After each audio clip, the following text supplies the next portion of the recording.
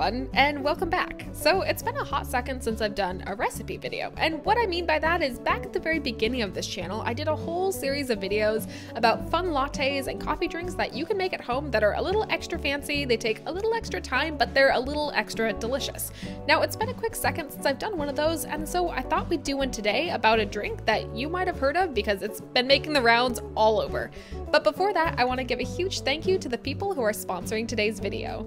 I want to give a huge shout out to Care of for sponsoring today's video. Care of is a company that'll help you find the perfect tailor-made combination of vitamins for you and your lifestyle. Their monthly boxes come with 30 beautifully packaged daily servings and by the way, their packaging is compostable. And if you'd like to learn more about it, you can visit their site at takecareof.com forward slash p forward slash eco.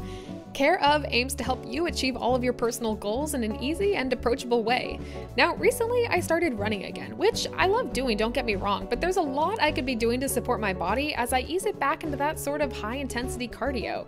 Care of's 5 minute quiz helped pinpoint exactly which vitamins would help me get back into my groove, and now I'm able to take vitamin D to support bone health, fish oil to help maintain a healthy heart, and iron to easily assist in my journey back into running with one pre portioned package. Also, if I didn't mention it before, I absolutely love their packaging and it fits perfectly onto my tea cart, so I never forget about it in the morning. So if Care of sounds like it could be the right fit for you, you're in luck because right now they're giving my viewers 50% off your first month when you click the link in the description and use code DRINKCOFFEE50. So get started today and thank you again to Care of for sponsoring today's video. So, as I mentioned before, this is a drink that has definitely been doing the rounds lately, and it's actually Starbucks' latest release. This is their brown sugar shaken espresso with oat milk, and that is a mouthful to say, and it took me a couple times to record this segment because I kept tripping over it.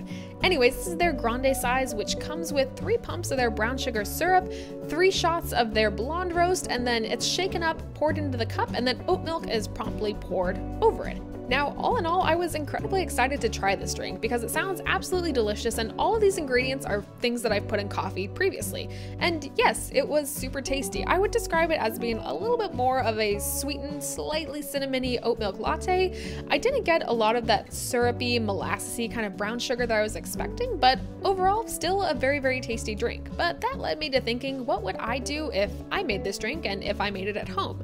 So we're gonna do that today. We're gonna make our own brown sugar shaken espresso espresso with oat milk. So let's start at the bottom because we got a couple different components here, but the first thing we have to do is make that thick syrup that's sitting at the bottom. Let's review all the ingredients we're gonna need and then let's get started. So first thing we're gonna need is molasses. I'll come back to this later as to why we'll need it, but just let's get some molasses and let's set it to the side.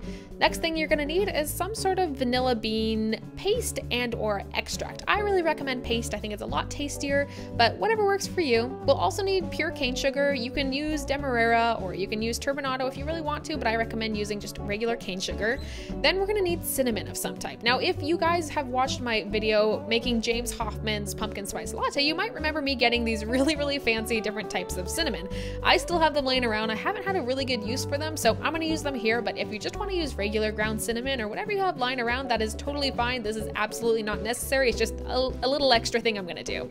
Next thing you're gonna need is some sort of container that you can then seal your syrup in because we're gonna be making about a cup of it. Okay, so let's start off with making our very own brown sugar. This way you can really control the amount of molasses flavor you're gonna get into it. I'm a huge fan of brown sugar, I'm a huge fan of molasses, so I'm gonna start off with about 200 grams of cane sugar, and then I'm gonna add about 30 grams of molasses. If you're someone who prefers cups and tablespoons as your measurement, then this is gonna be one cup of cane sugar to a little bit over a tablespoon of molasses. After that, get out a fork and just start mashing it up. This will take about three to four minutes, but after that, you'll end up with something that looks roughly like this. And there you go. That's brown sugar. You just you just did that. Now you don't have to go buy it. Anyways, this is the color I was looking for, but again, you're more than welcome to adjust it based on your preferences. Now it's time to get my cinnamon all ready because as I mentioned before, I'm using whole pieces of cinnamon that I'll have to grind up using my little handy spice grinder.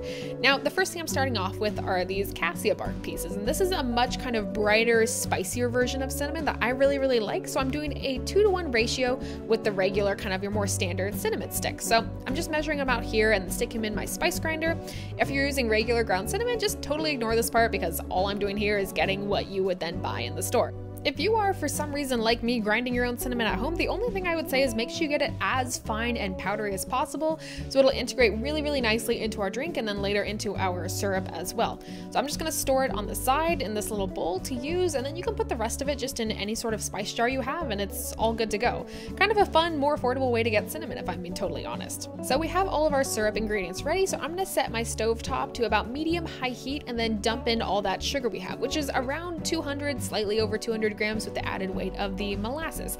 And then I'm gonna follow it up with about 175 grams of water. This is a little bit under a one to one ratio because I really want this syrup to be kind of as like thick and honestly, for lack of a better word, as syrupy as possible. And then I'm just gonna keep whisking it because we don't want to caramelize this. We really just want to melt down that sugar and get everything incorporated together. After we start to see some melting happening, I'm gonna add about a teaspoon of our cinnamon powder that we've got. This is gonna add a really nice kind of like light spice to our syrup and make it a really, really delicious thing that you can add to this latte, of course, but you can also add it to, you know, any sort of coffee you want.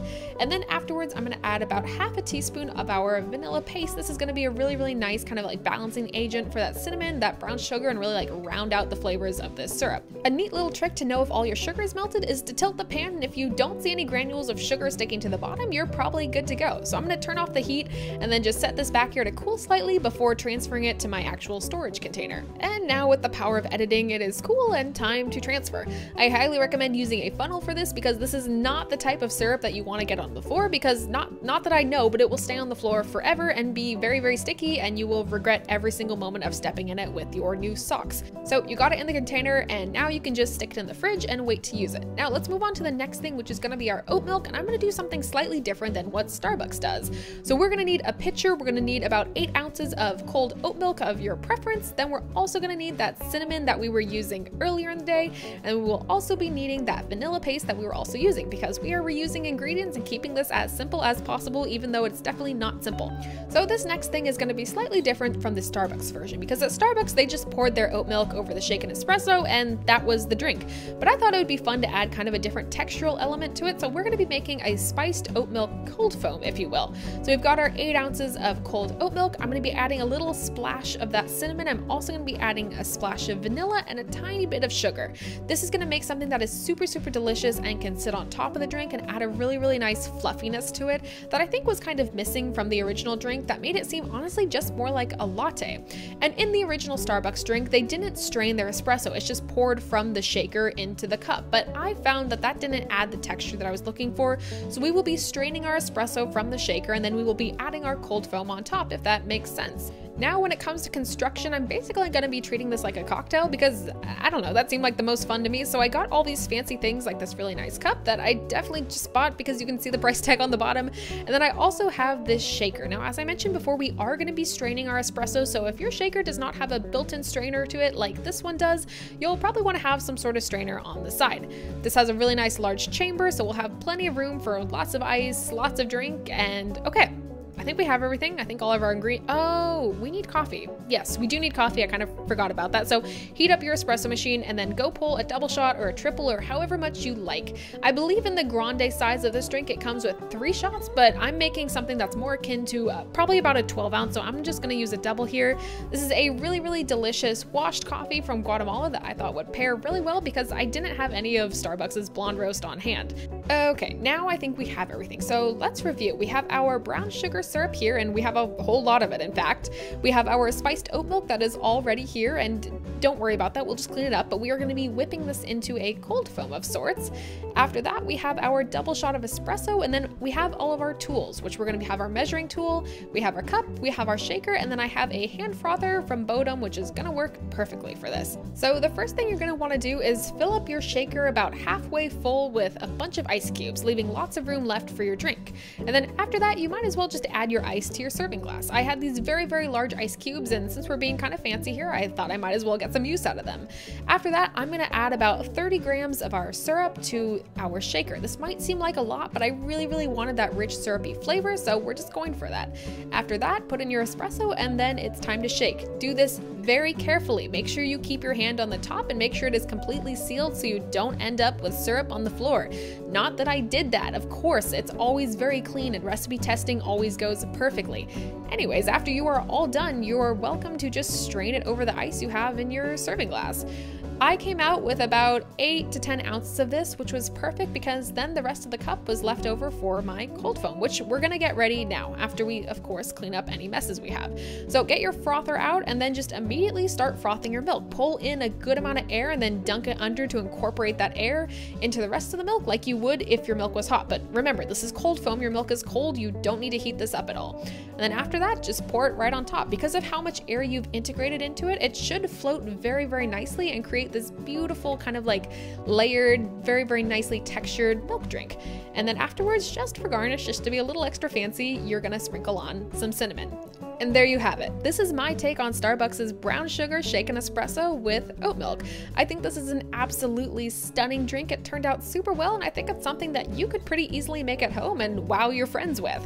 So let's give it a taste test because even though it looks great, does it actually taste good? And the answer is yes. this drink was absolutely delicious. You get a lot stronger molassesy flavor in there, which was really what I was looking for. You can definitely pinpoint that it is brown sugar and the foamed oat milk on top gives it a really, really nice texture. I also found it was delicious when you kind of mix it all up. The air that is in that oat milk still kind of stays on the top, so you do have kind of like a fluffiness still remaining at the front of your drink, but you're able to sip down your coffee a lot faster and really have a very, very nicely textured milk drink that is, yes, it's akin to a latte, but I don't know, shaken espresso just sounds more fun. It sounds fancy and different and something that would be very, very beautiful. So if you'd like to try it, head down to the description because I will have the recipe and ingredients listed there. And if you make it, feel free to tag me because I'd love to see how you do it.